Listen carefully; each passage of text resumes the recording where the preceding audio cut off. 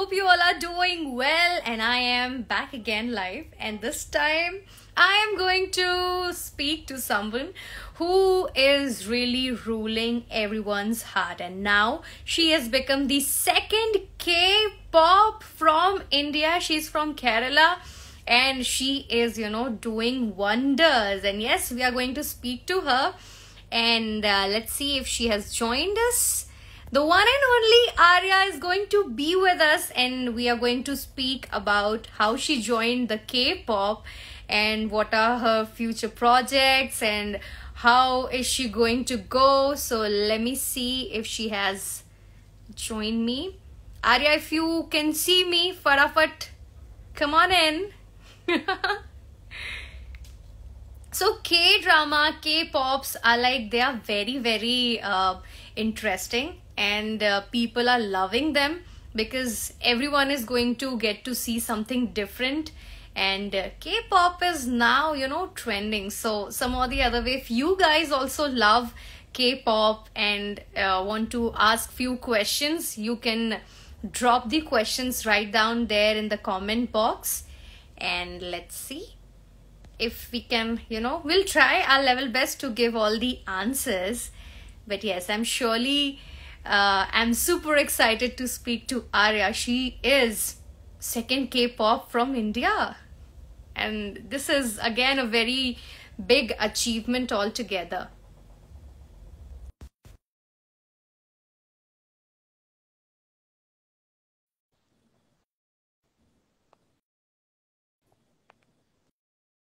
Okay i think i have joined her Hey, Hello. beautiful. How are you? I'm fine. How are you? Oh my God. Firstly, a big congratulations to you, Aria. You are rocking. Thank you. Thank you.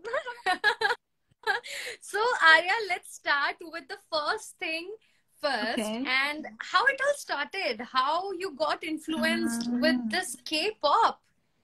Okay, so I guess I was in seventh or eighth grade. I was at Okay. home uh, after school. I was at home. I was just watching TV, and then uh, BTS seniors their music video came out, and I was like, I was like, huh, what is this? And I couldn't understand the language at first. I was like, hmm? but the music was really good, and even the dance, everything was really like interesting. So I was Hmm. like, I kept watching the screen and was like, I need to look them up. And then I looked them up out of curiosity, and then I got hooked, and here I am. Wow. So uh, this is this is one of my uh, question that uh, have you got any sort of training in you know speaking the Korean Mm. language? Did you learn it by yourself or did you uh, you know uh, get to learn it from someone who's you know perfectly fine with the Korean accent and a trainer something like that? Well, in my school, there were a lot of like uh, ethnically Korean people. Because my Hmm. founder of my school, she was Korean, and I was really close with her daughter, and we even visited Korea back in 2019. So uh, for that, I need to prepare. I had uh, needed to prepare some Korean, so I studied online for that, like Hmm. by myself. at up sites and studied, uh, did some self study, and then also learned from like my people from the school, and then yeah I, I was really interested in k-pop itself so i also watched a lot of dramas and then picked on stuff from here and there Very after nice. coming here So I, yeah. after coming here i spoke to the onnis like i keep talking to them in korean like my producer he's always like don't speak in english you have to speak in korean, korean otherwise you're not going to improve so instead of speaking english we use korean with each other so that's how I've Wow, that's that's amazing, Aria. So, what is that one thing you love about K-pop? ah. well i like everything about k-pop of course the music definitely the music, but also the well made performances. So I really like dance. I really enjoy doing dances. So for me, watching such well made performances, it's it's really always really fascinating, and I always wanted to be a part of it. So yeah. Nice. So, uh, Aria, are you musically trained? Uh, well, not really. I took vocal classes for like a very short period of time, and that's about it. Nothing apart from that. Great. So, uh, you know, this is very difficult while you're singing, you're dancing again, you know, managing both at the same time. This is actually very, very tough because when you are moving, even you are not able to speak properly. How do you manage to, you know, dance and sing at the same time? It's it's really hard. So like after rehearsals, our producer always say you need to be careful of your breathing because when you breathe too loud, it's like really mm. audible. So we have to al- always like make sure we don't breathe too hard and hmm. always mm-hmm. like manage the mic so it's it's kind of hard but i guess and i'm still improving i'm still not there yet i hope i can do better that's cool so you're the second k-pop from india you belong to kerala and somehow the other way you are getting love from all over the world all over from the kerala in india so some or the other way, this is a very, very uh, overwhelming feeling, I guess. So how it is feeling? It feels it feels so good because I did not expect a lot of people to show so so much love and support.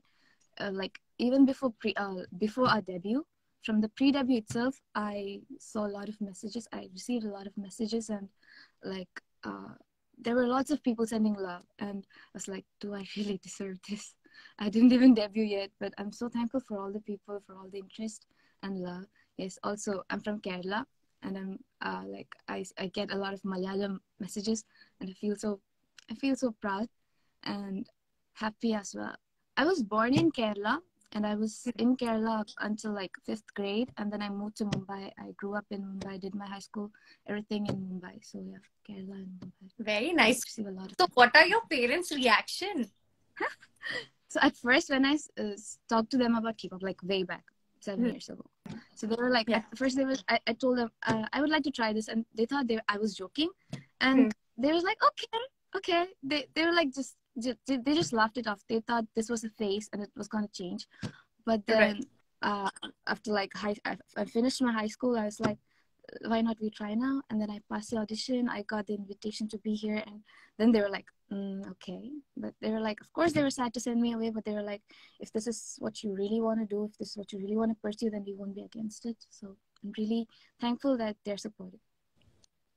That's cool. Okay, so tell us something about your group. Like, how is it all going in there? Mm-hmm.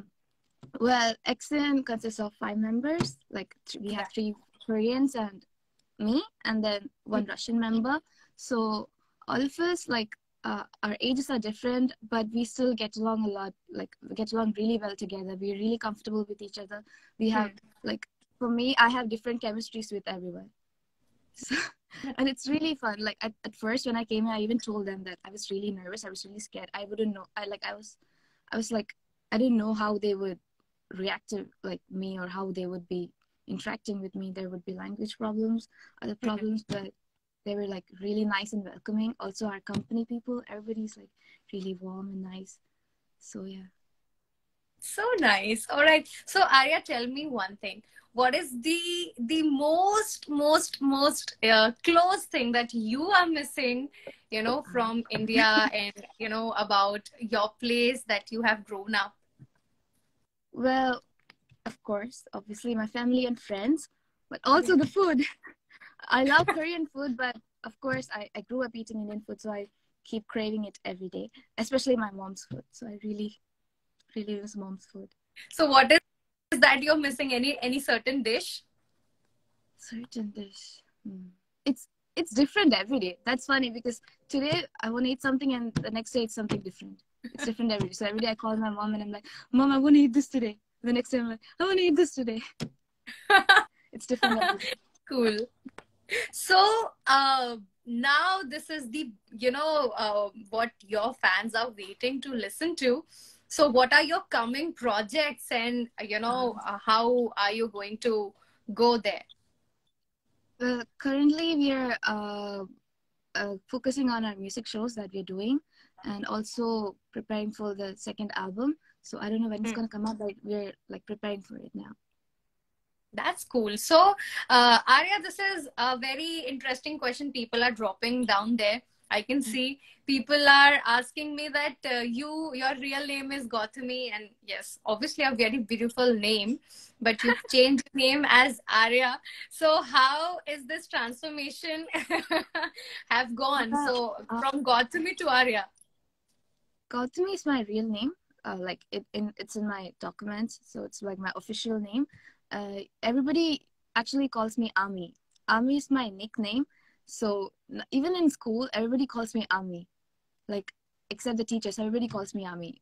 That's what everybody usually calls me. So nobody uses Gautami usually. So after coming here, they we were like we were told to choose stage names, and I was like I made a whole list, and then I read it out to our producer, and he picked Aria. Cool. Okay. So are you going to try your hands on K dramas also? Well, definitely. If I'm given the opportunity, I mean, I'm a huge, huge fan, and I watched a lot of K dramas. And uh, I used to be a child actress in back in India, so I really want to try acting again. And if if it is in K drama, it would be amazing. Acha, any any plans to come down to Bollywood? Something like that? well, I, I don't know. I mean, if I'm given the opportunity, and if it's like everything goes well, then maybe. Cool. So, uh, any certain music that you you really love and you would want to, uh, you know, that uh, use in any any sort of Korean song or something like that?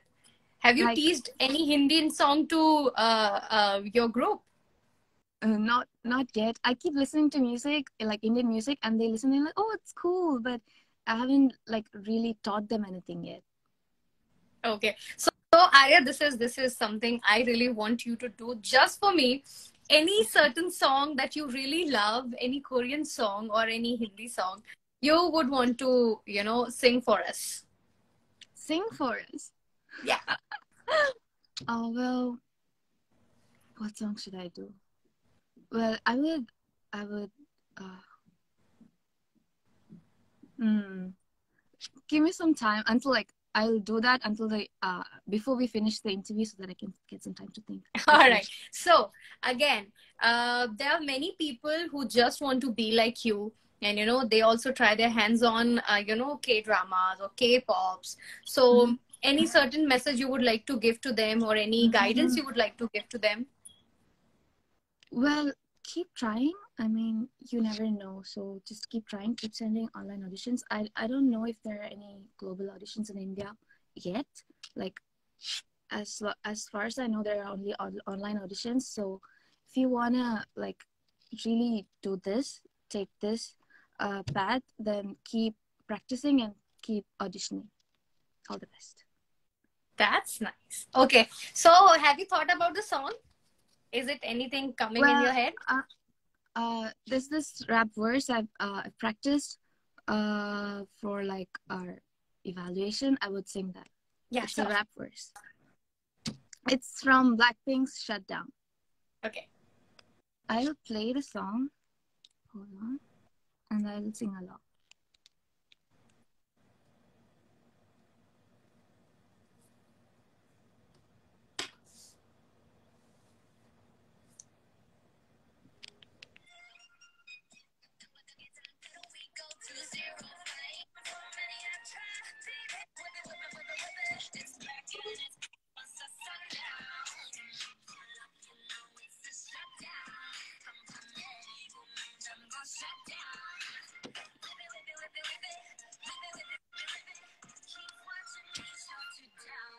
Nah, you don't wanna be on my bedside. That's right, I'm sliding through. Bunch of wannabes, so wanna be me. Me three if I was you. Been around the world, in a girl, VVS, we invest. Uh, need a lesson, see the necklace, see the dresses, we don't buy, request it. Uh, thank you.